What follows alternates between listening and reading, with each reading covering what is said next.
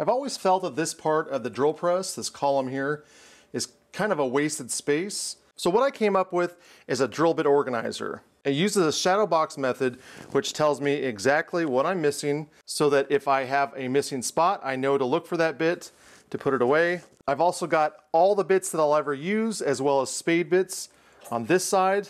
On this side, I've got all my brad point drill bits as well as a drill bit organizer. Well, let me show you how I built this.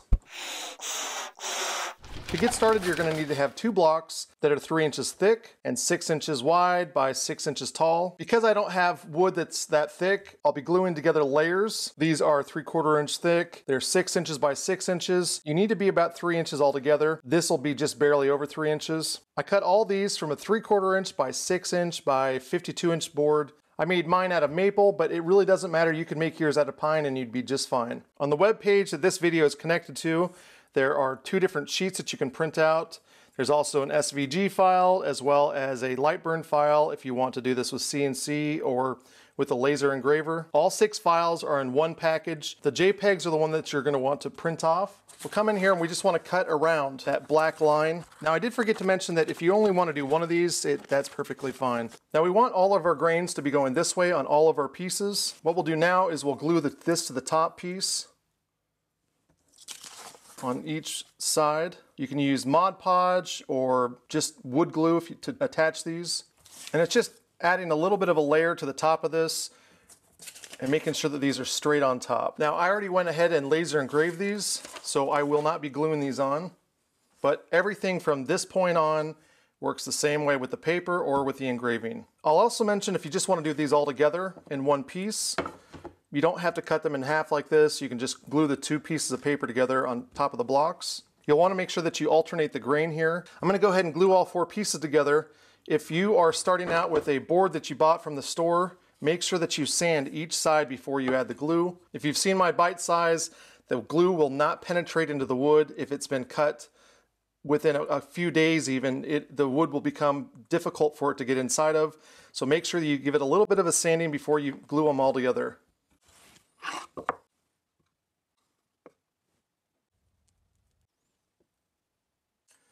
Now, so I don't damage the face of this, I'm gonna go ahead and add a couple pieces of plywood here. And I'll clamp to that. I'm not really worried about the back side as much. Now the first one that I did, I didn't add salt and it was moving around a little bit. So this I'm just gonna add a couple grains, very, very little. Okay, we'll give this some time to dry and we'll come back.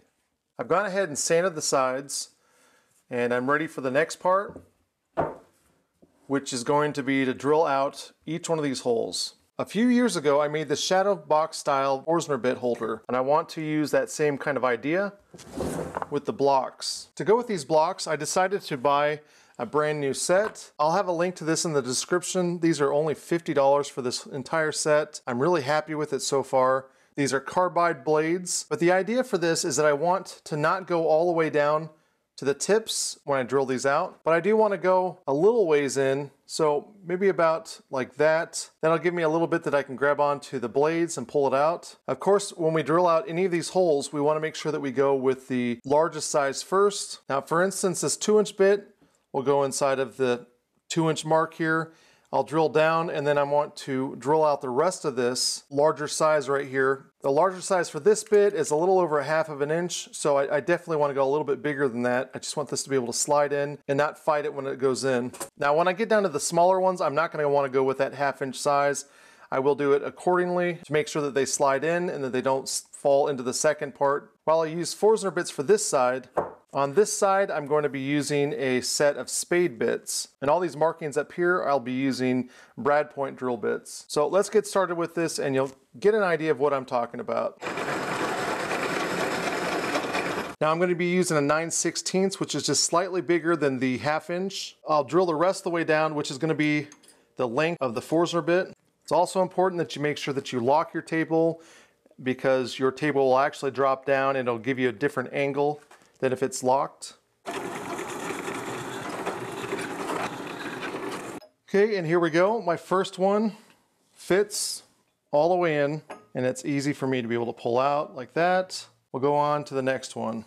A trick I did find out to getting each one of these about the same height or relatively the same height from the last hole is when you put a new Forstner bit in for the smaller hole, you go to the last hole, set your depth on your drill press, and then move over to the next hole. That seemed to help me out a lot and made it go a little bit faster. As you can see, this is where I'm gonna stop with my Forstner bits. Once you get below 5 eighths, Forstner bits are pretty much useless. They clog, they're just junk. So from here on out, I'll be using my larger brad point bits to drill out. Now I don't want to go all the way through and I'll probably want to run this up and down a little bit to make the hole maybe a little bit wider so it's easier to slide in.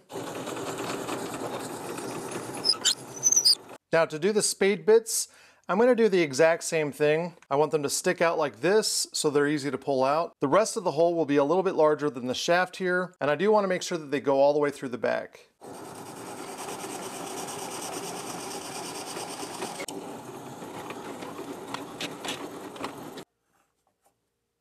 Now I'll go ahead and drill the rest of these and we'll come back when I'm done. Okay, now I went ahead and drilled these out and honestly they are still a little difficult to get in. So when I drill these out now, I'm gonna start with a hole over here and I'm just gonna use the larger bit to the right of it as the hole. So I'll use the 9 seconds here, 5 16ths here, all the way down, just using the next size up. And I think that that should work. So we'll go ahead and do that now. So again, I've got my 9 seconds bit in here and I'm gonna go to the next size down, which is 17 64ths.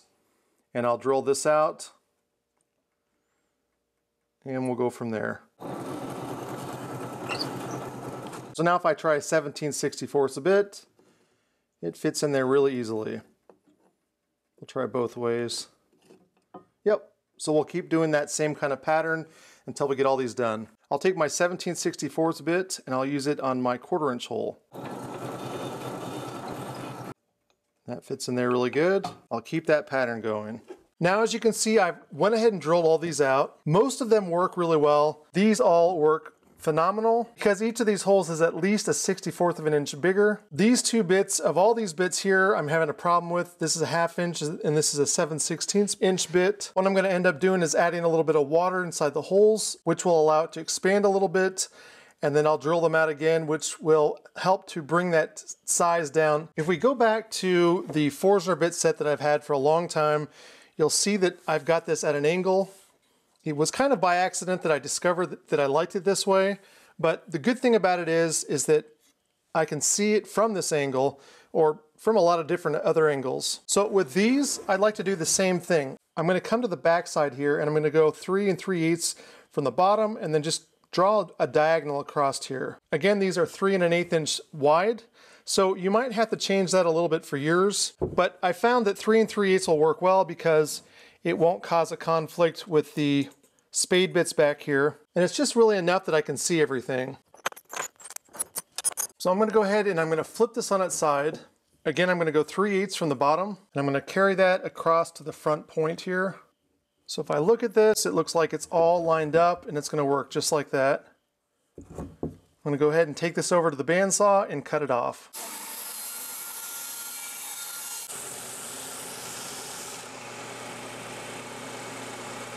When we bring it over here, you can see that it's a lot easier to see the bits. It is just at a slight angle. I think that that'll work really well. At this point, if you don't plan on adding this to the column of your drill press, you can stop right here. Like I said earlier, you can combine those two sheets to make one solid piece and just set it off to the side.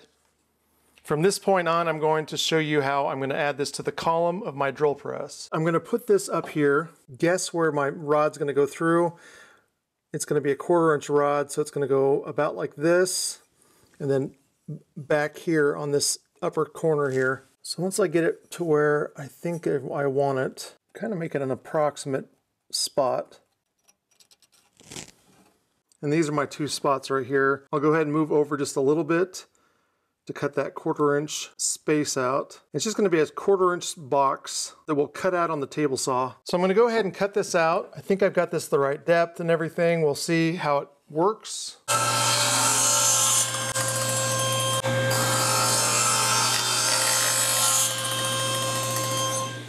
Now I thought before I sanded everything up and attached the bars and everything that I would add a dye to the top. I'm using curly maple here so I want to show it off a little bit. So I'm going to use a little bit of red dye.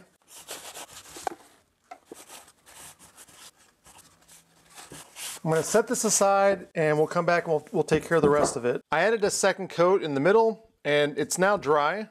So I'm going to go ahead and use 100 grit sandpaper and clean it all up. We'll see what happens.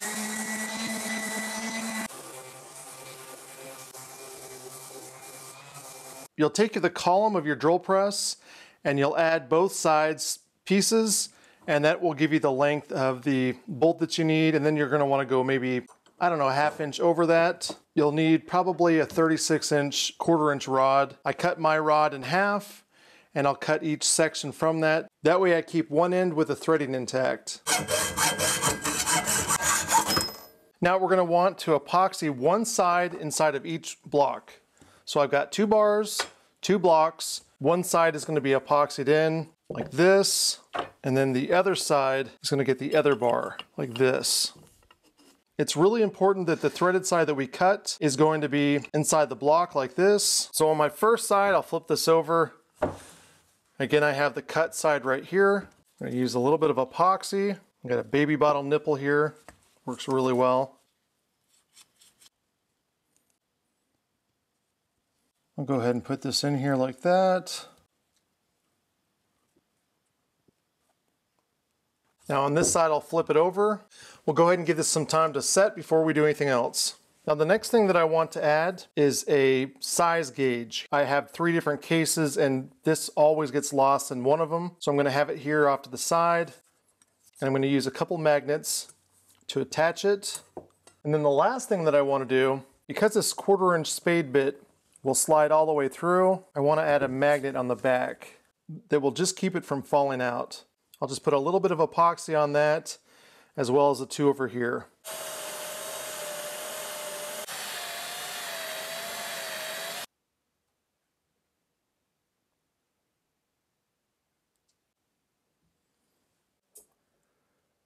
We'll add a piece of tape here to keep it in place. We'll come back when all of this is cured. I've gone ahead and mixed some polyurethane and paint thinner this is a little bit more than a three to one ratio of polyurethane, but I wanted to make it really thin because I want it to really penetrate into the wood. Curly maple has a lot of depth that you can reach if you really cut this thin. Another good thing about cutting this is I can use these really thick silicone bristles and I don't have to worry about it leaving behind any kind of marks as far as paintbrush marks. After the poly was cured, I lightly sanded it and then brought it to the buffer and used some aluminum oxide compound to give the surface a mirror look. And then I overdid it by adding Danish oil. It's really worth it though, as you can see right here that the chatoyance in the curly maple just explodes. Now we're going to attach this to the drill press, which is very simple. One side goes on one side and the other goes on the other side. As you can see, I've got a knurled thumb knob here. You could use a wing nut, that would work fine. But we're just gonna twist both sides so that it tightens up everything against the post here. If it ever has any problem in the future, I can always add some strips of tracker runner down the side of this, but I really don't think it's gonna be a problem.